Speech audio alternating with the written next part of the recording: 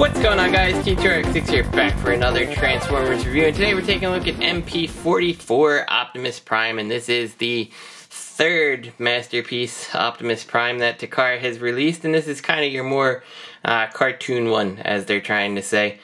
Um, so if you guys want to know how to transform this guy, please tune into last week's video. I'm not going to be posting how to transform this guy in this video uh, because there's just so much to go through with Optimus and that transformation is so complex, they both warrant their own video. So last week we did the, the transformation and this week we're going to do our thoughts. And some of the thoughts I'm going to say are objective, but a lot of them are subjective. So you're going to have to take what what you value and decide if it's going to work for you or not.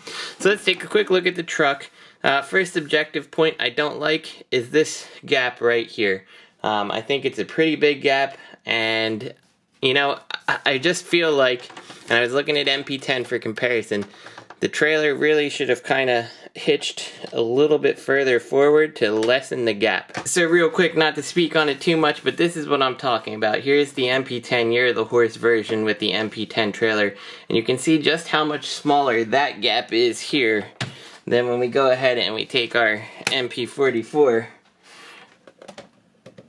and place that on, like you can just see it's, you know, it's sitting way too far forward. It really should have moved forward a little more. It does make the truck a little more unsightly to me. So when we take a look at the truck, I think the front of the truck looks beautiful. It's really, really nice. You've got the side of the truck here looking good, but when you come around to the back, um, somehow it feels really long. And, you know, maybe it's the hitch not helping it, maybe it's how the trailer sits, but feels really long. But when you compare it to other uh, MP primes, like here's MP10, it's maybe like five millimeters longer than this. And if you compare it to the Magic Square, it's actually the same size. So I'm not sure why it feels so long. Maybe it's because this is less bulky than any of the other counterparts, but nevertheless, it does feel a little bit long. I don't particularly like seeing the, the chrome bits here. This doesn't bother me that much, but the chrome bits really draw my eye because of the way the light catches them. Now I will say, you know, no MP Optimus is clear of any of the robot bits. Like you still got the, the waists on both of them. But I do feel like the back cleans up overall nicer than what MP44 does. Also, another thing to note is when you compare some of the other offerings of Optimus, and there's Magic Square, and here's MP10, uh, the like gas can down here is way bigger and more pronounced on these two and this looks small, and I think that may be contributing to why I feel like the truck looks a little bit odd. But undeniably, when you end up putting him with some other MP scaled vehicles, um, I think he looks just fine. The scale looks perfect. And the trailer is really nice. I do think I like the stripe on the original MP10 with the blue on it a little bit more, but I get that this is more cartoon accurate. So real quick comparison to the trailers. Uh, as you can see, you got the blue versus the black here. Uh, the wheels are definitely bigger on the MP10 trailer. Why is that trailer not... It's interesting. I never noticed that the back wheel. Uh, is it just because of the incline? It's not touching the ground. I never noticed that. Uh, the MP10 trailer is just, uh, no, it's about the same. It looked like it was bigger in an earlier picture I took. Um, you do have some extra detailing with like the rivets here that are not present here. And I guess like this air intake scoop on the back of this one is taller, um, but not as thick as the MP10 one. Let's see where we can get that. There we go, right there. It's a little bit smaller overall uh, and thicker. So one of the big wins of the MP44 trailer compared to the MP10 trailer, here's the MP10 trailer, and you take your ramp out, and you get your car out here, and it just, it doesn't really work. Um, there's no angle that this is right, like it hits the ground, and the car has hit the ground uh, up here, it can't sit there. That's a problem. So, MP44 came along, and we've improved the doors a little. They don't open more than 90 degrees. So don't try to force them. You can see they're squared at the end and they will not open more. Um, but if you take the ramp out here, very similar how it works. It's almost like two times the length and the angle is so much less drastic that you can actually make him look like he's coming out the trailer. Um, the wheels are actually planted in the trailer and on the ramp. And then when you come down to the bottom, like he's not, well, he is bottoming out in this case, but it's less noticeable than it is with MP10, who he's kind of nose diving into the ground. This one feels at least a little more reasonable. Looking at the underside of the MP44 trailer, they did pick out the silver in the tire there. I do appreciate that little detail. They didn't have to do it. Other than that, it's nothing too stunning. You will notice though that this part here is much bigger than it was on MP10. And this is the next thing they've done with the trailer that really wows me. If you push from the back side here, uh, I would not recommend pushing from the bumper um, just because you don't want to accidentally break it off but it gives you a tray to store almost all his accessories, and I think that that was a super awesome decision by them. Uh, it doesn't take up any extra room, really, and yeah, just that clean, you know, everything's locked in, stored in place. I love that. So let's actually get a look at some of these accessories. Looking at the accessories in this trailer, uh, we've got a different rounded versus square plate Optimus Prime head, and a lot of these, like these are so thin on this guy that they on their own force want to bend inward. So be super careful with them. I do wish that they were a little bit thicker because it just doesn't feel like good plastic. You also have the battle damage prime, which I assume that these antennas are bent purposefully and not bent out of the box that way. And the battle damage prime looks cool, but the problem is, is so much of prime is clean that when you add these battle damage things to them, it really kind of looks silly.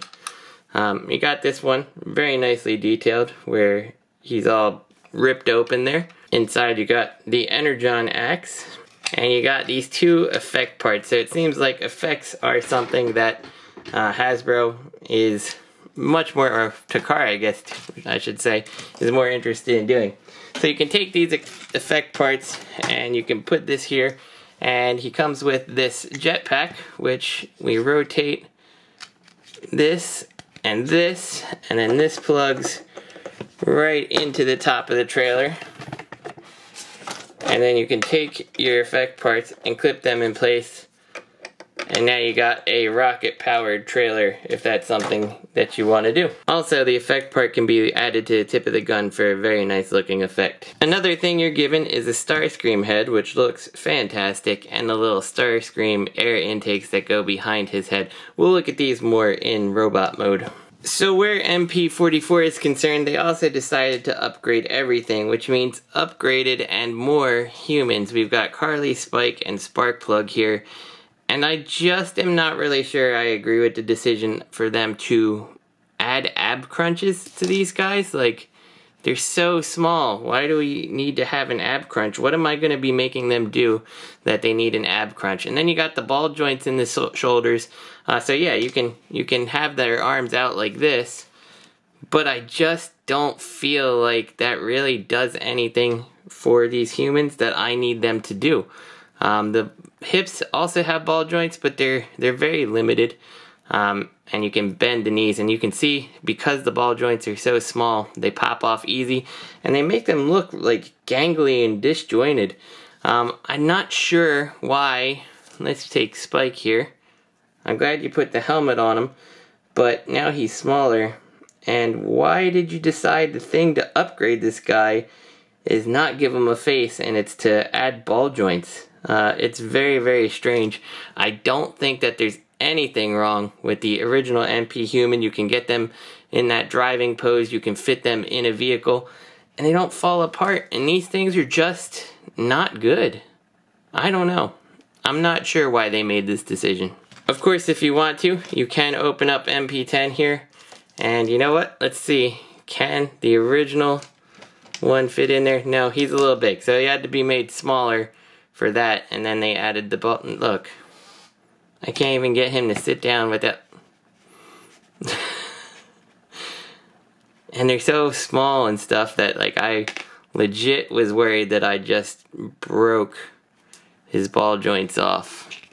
Like this is a terrible, terrible design. This is not what you should have done with the figures. You should have made the space accommodate the old size figures and just given them a face. I don't even know somehow Let's see. Do you want to do it? Do you want to sit? Do you want to do? No? Okay, there we go.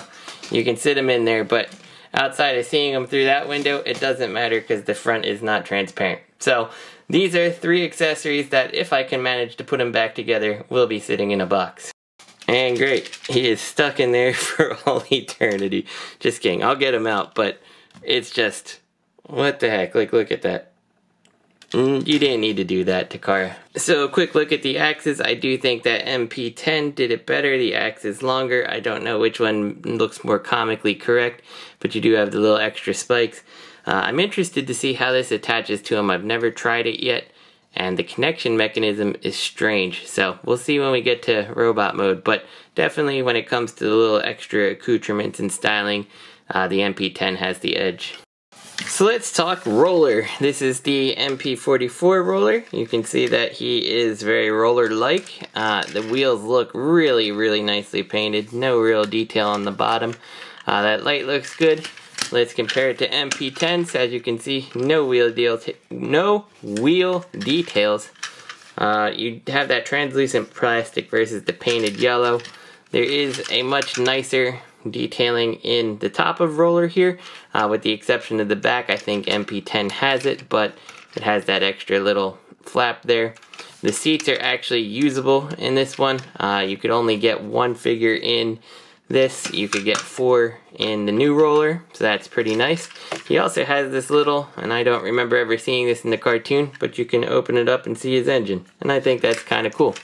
So we're gonna open up the trailer and once again when you pull this out the little extenders do come out here and if you want to get these down there is like I guess the waffling kinda on the inside here. It does give you something to grip so I'm not gonna say it's a bad thing in this case uh, and these come down and you can see you got the little pegs here that will make way to open the trailer like so now inside the trailer, it's still a lot of nothing going on, but you do have some nice detailing on the inside. And you do have a place to store the little gas thing for roller. You got the places where your characters can sit, and you've got the central, like, Teletraan unit. So if you want, you can take your roller and you can secure him into here. Whoops, we don't want to do that yet. Uh, and that'll keep him from falling when it's moved around and that's pretty nice but it does monopolize a ton of trailer space. If you are someone who likes to put your cars in here you're not going to have any problems fitting one MP car in without roller in place. Additionally however you can slide this back and pull this out and if you really just want to use it as a trailer for your MP cars uh, Jazz may not be, let's take Jazz out because Jazz is a little long. Can we fit two in? yeah, I would say you could fit two in. Uh, it'd be a little tight, but they should both fit in there. Yeah, you can close the back door. So you could fit two in there. Uh, as you can see, Ratchet, because of his light bar, is a little bit too big for this, but the Ironhide part of the mold will work. So as you saw, this central piece came off, and there's just so much you can do with this. Um, and this is where we're going to really try to fly through things here, because there's a lot of stuff um, that is either remember that thing from that episode or this is a Diaclone thing. So looking at the central piece here, um, he has a nice ratcheted center right here. Extends out nice and long. Uh, it does rotate around that. You do have the claw arm. Uh, both of them move up and down. This can swivel around to the top if you want it to. You can once again open the cockpit and put your MP drivers in there.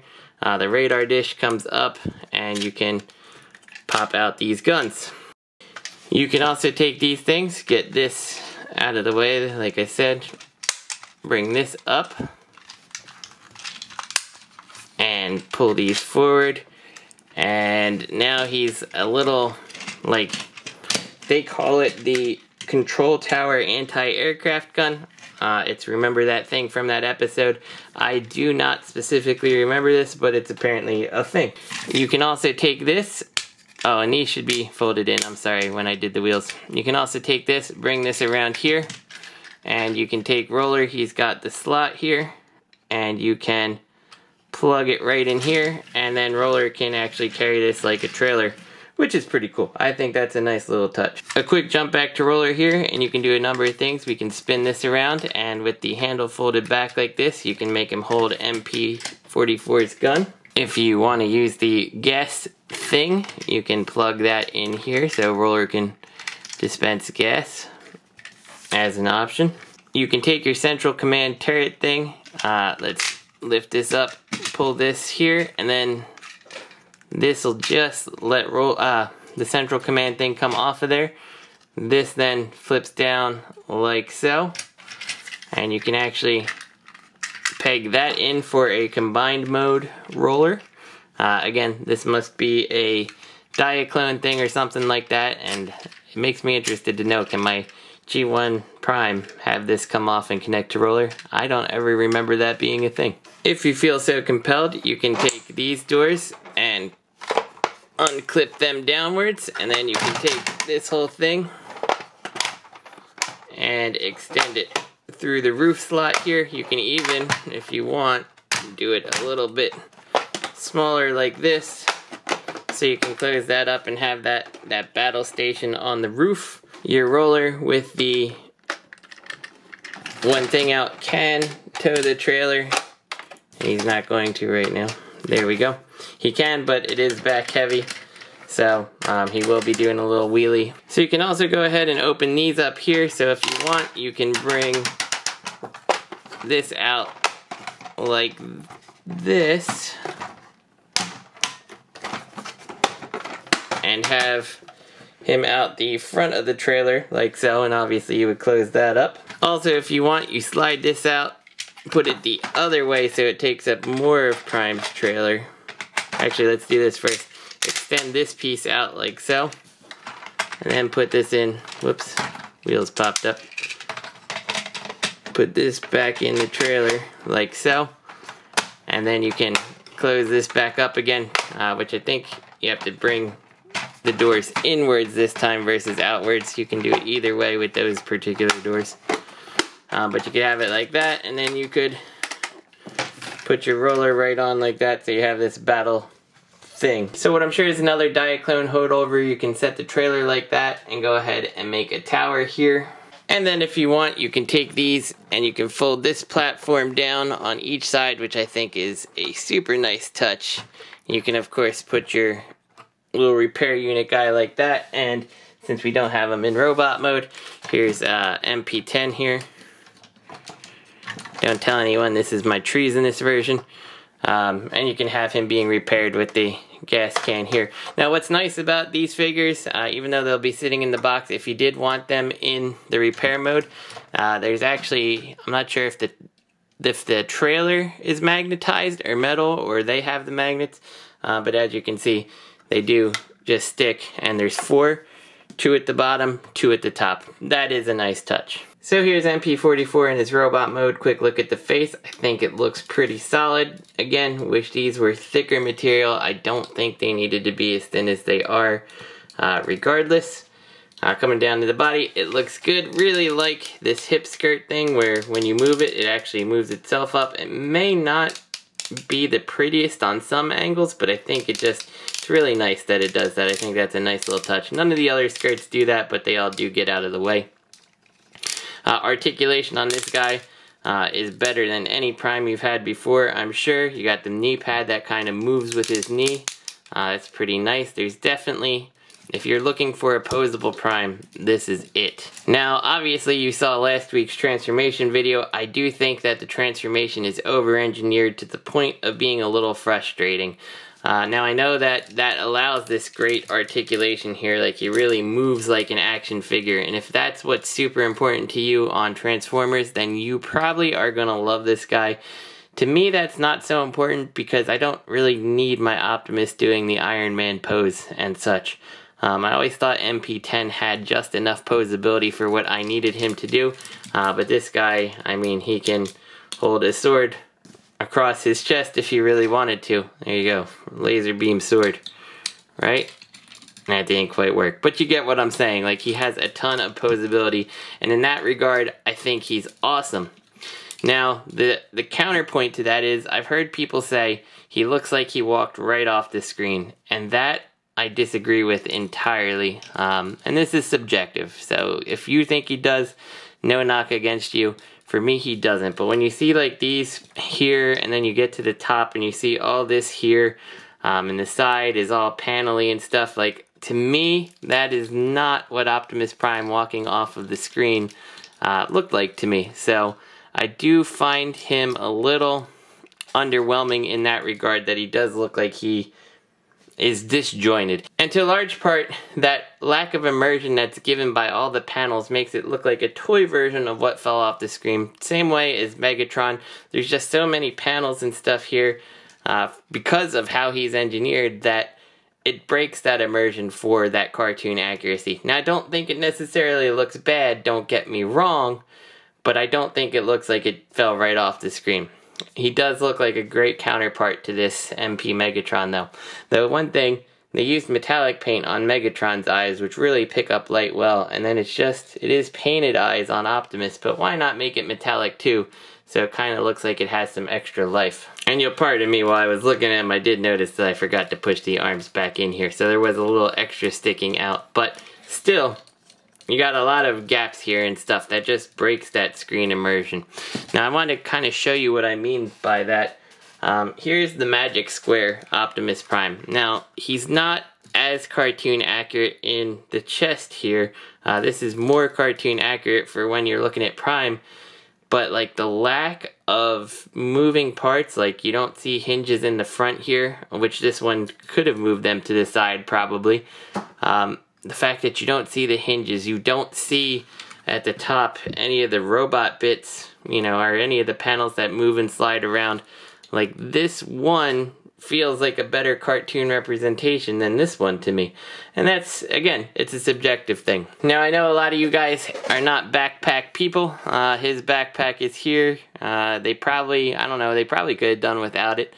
Uh, I'm not really sure where it fits in the truck mode. I can't think of it offhand. But it does have a switch on this side and a button over here. So I, so I assume an American version would come with Peter Cullen's voice. Um, I guess that the voice of Convoy in Japan is probably more iconic there than Peter Cullen's voice, but it's really hard to care as an American about the Japanese voice versus uh, good old Peter Cullen. For his gun here, the hands open up nice. They look like very organic hands. Uh, and I don't remember them being quite so organic looking in the cartoon. Like this feels like season three in the terms of how organic the hands feel compared to um, that like robotic kind of more blocky hand. Um, and he holds the gun just fine, but like the trigger feels like it's up higher and he holds the gun kind of low. So I kind of wish that his hand held it more up here perhaps, but the way that it all pegs in, uh, he's stuck not on the trigger. But I guess Optimus Prime is safety first and doesn't put his finger on the trigger until he needs to fire, right? So opening up his chest, you can actually reveal the matrix compartment, and that is a nice die-cast matrix with very nice paint. It's probably the best matrix that I've seen. Uh, it's definitely better than the MP10 one, because uh, they painted the jewel, and I think it just really gives life to the matrix. So per the instructions to get the axe on, we pull the hand off, and I do not like that at all. But you take that, and it kind of forms this thing, and then you plug the axe into it like that. Um, mm, yeah, I don't, I don't think I like that because I'm afraid it's gonna break the clip for the hand by pulling it off too many times, and I don't feel like it necessarily secures the axe super well. And like all this panels and stuff wants to move when I'm trying to put it in there. Um, yeah I don't I don't like that. I'm not gonna put that on. Uh, I'm afraid of breaking that clip unfortunately. So if you want to jetpack up Optimus you plug it into the top of this backpack and give him an even bigger backpack there you go and of course you could take the little accessories here and plug them into the back. So Optimus is blasting off. So of course, way back when I said you can take this base here and use it for a flight stand for Optimus, the instructions don't mention it, the box shows it. Make sure that this is flat, uh, kind of arrange it how you want, and then this piece here, which would slide in the roller, slides into Optimus and you could use it as a flight stand. That said, it's very, it's not strong enough for Optimus, so I just don't think that it's going to be successful as a flight stand. I mean, you could see he, the weight of this, it just doesn't work. You probably could tighten this, but it's already kind of stiff enough. I really don't want to mess with it too much, and I'm never really going to show Optimus with his jetpack like this, honestly. And if you want to change the head to Optimus, it's really easy. It just slides off very, very simplistically. So you could give him the Starscream head like this if you want to. So if you want the Starscream intakes on there, you end up opening this up and kind of clipping it on there. But then for whatever reason, I just feel like it doesn't allow, like see how this kind of all gets all messed up? Like I don't feel like the accessory really works that well because I can't plug in the back properly.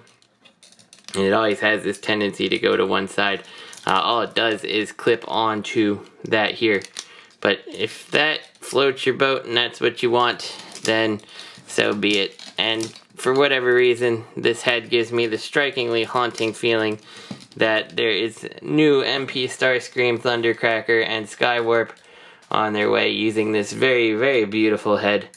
Uh, but once again, adds another set of seekers. So real quick, here is MP44 in the middle with Magic Square on the left and MP10 on the right. Uh, the thing that I think MP44 does best versus these two is the arm proportions. They definitely look more correct and all the articulation. If you are someone who likes the crazy amounts of articulation, you cannot beat this Optimus Prime. None of them can move the same way he can.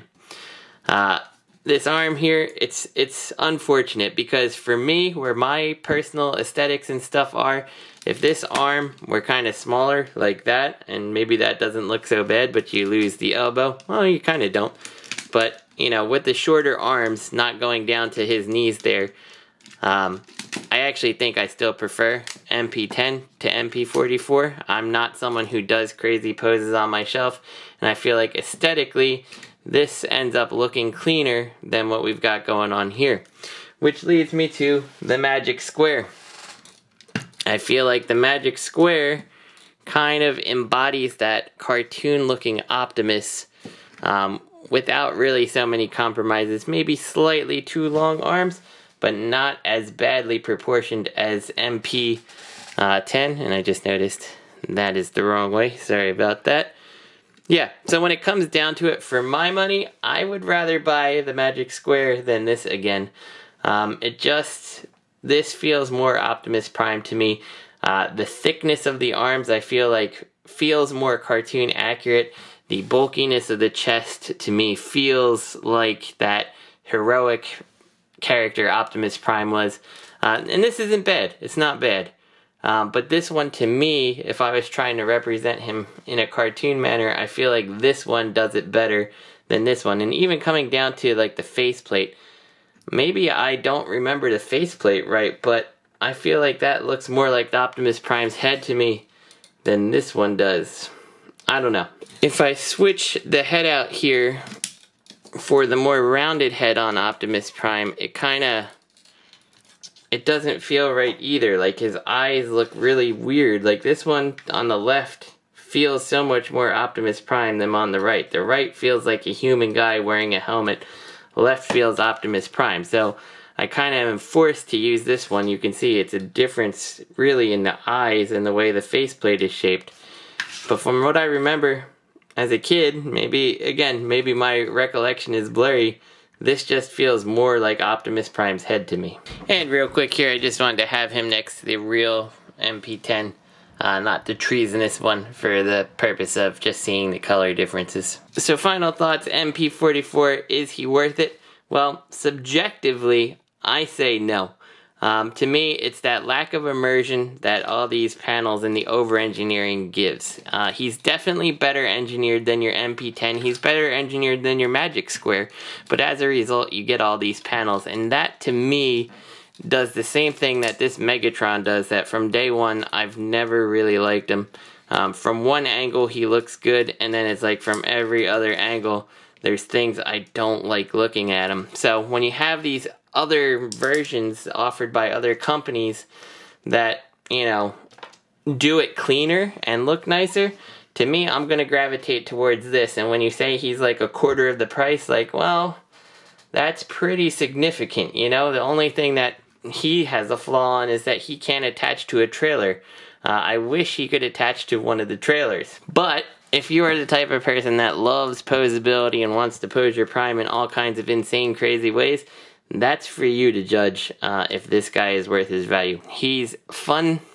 I don't want to say he's fun to transform because he's not really fun to transform. He's kind of an exercise in frustration. Uh, but the more you do it, the easier it gets. But like MP10 was like one of those molds that I can pick up and like, you know, five years from now, I'll still know how to do MP10. Uh, this guy is definitely the character that I'm going to have to look at his instruction manual next time I want to do it uh, to make sure I'm doing it right. So you need to weigh that. I can't tell you if he is 100% worth his cost or not. Uh, that is up to you. So this is T2RX6. I hope you guys enjoyed the review, and I'll see you next time.